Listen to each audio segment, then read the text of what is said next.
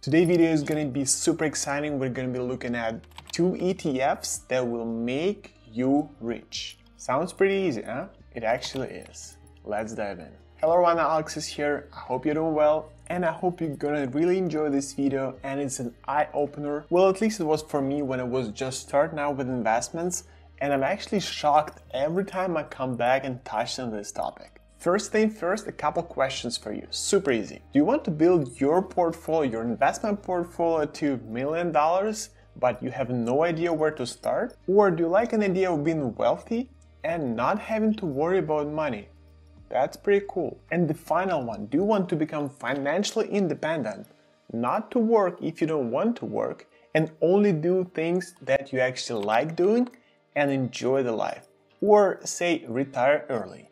If any of these questions actually pops up in your mind time to time, then this video is gonna answer all of them. As I said in the beginning, we're gonna be taking a look at two ETFs that's gonna explode your portfolio and will make you rich. And what is an ETF? You can think of it as a bag of assorted cookies that powered with rocket fuel that will take your portfolio to the moon. That is actually the definition of ETF. It's not something I came up with. And if you want to go to the moon with me, then smash the like and let's go.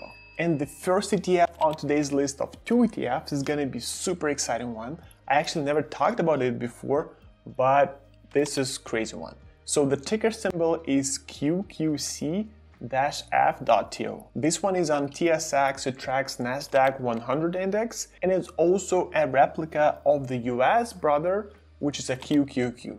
So this ETF is crazy one, it gives you a ton of returns back. Just look at this, over the last year it gave you 30% return, over the last 5 years it averaged out at 27.7% annual returns, and over the last 10 years it averaged out at 22.53% on average per year. Where else you can get a 20% return on your investments, of course, maybe besides crypto, and be super safe about it. So this ETF gives you that. This ETF holds around 104 different stocks. That's understandable because it tracks the NASDAQ 100 index, which also has around 100 different stocks in it. And it's very heavy on technology, around 50% of its portfolio is actually invested in the technology sector, and that's understandable because it tracks the best 100 stocks from Nasdaq. You can see companies there like Microsoft, Apple, Amazon, Nvidia, Tesla, and all that. And these are the super safe companies. These are trillion dollar companies of market cap, so it's pretty safe to invest in them. They can provide a lot of growth, even more going forward.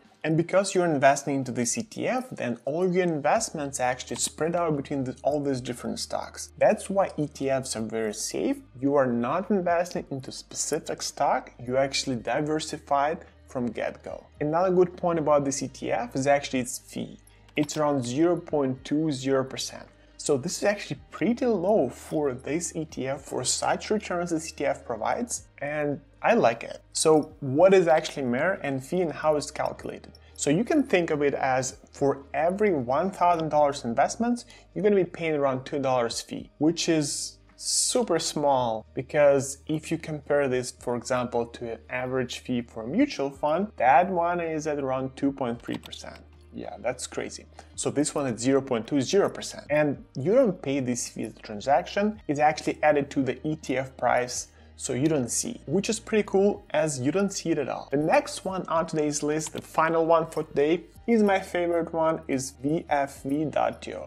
So this one actually tracks S&P 500 index, so the best 500 companies on US stock market. This is pretty safe. This index been around for 100 years. And you would never lose money with this ETF if you invested even 100 years ago, right? It always growing on the long term. And if you take a look only at the last 20, 10, 5 years, it's even better. Over last year, it produced around 30% return, so it's very similar to the QQC ETF and it's very safe at the same time as well. The MER for this ETF is actually even lower, it's at 0.08%. This is actually one of the lowest MER of entire fleet of ETFs on TSX, which is great, it gives you a ton of returns back and it's super safe. And now finally, what's the deal here? How these two ETFs actually can make you rich. Let's actually take a look at this calculator and see imitate our investments into the future. So say you start now when you're 18, of course the best scenario when you're 18, just start investing. If you're 17 or 16, wait for a couple of years and start. Or ask your parents to start investing for you. It's gonna be the best decision for future you. And say you start now with a thousand dollars. You get a gift from your parents, from your friends, for your birthday, for your teen year birthday, and you have thousand dollars to invest. So don't spend it, put it all in into your investment portfolio, invest into one of these two ETFs.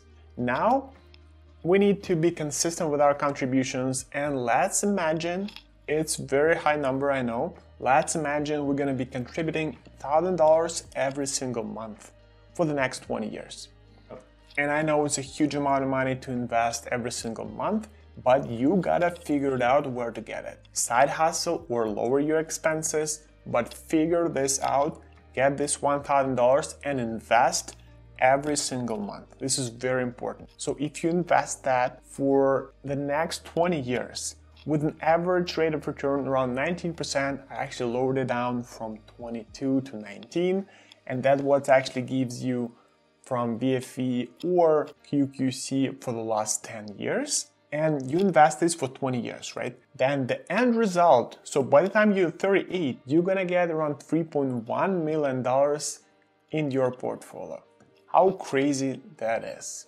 You're pretty much gonna be set for the rest of your life by 38. And retiring at 38, this is not even close to a normal regular retirement age of 65 or 60, right? This is crazy. You would think that, okay, I missed that 18 year old mark, so I just missed the boat. What do I do? This is not for me. What should I do?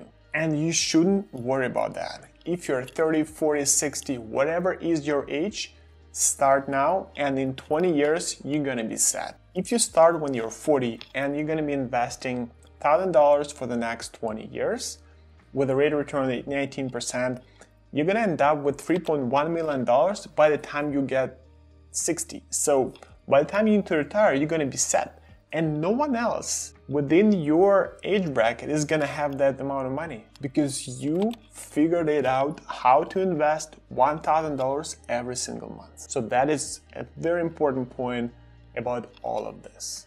Figure that out. Even if you can do half of it, that's still gonna be a lot of money. And you don't necessarily need to start with $1,000 every single month. Start with whatever you have and slowly add up more. Start a business, side hustle, lower your expenses, figure this out, how to invest as much as possible every single month.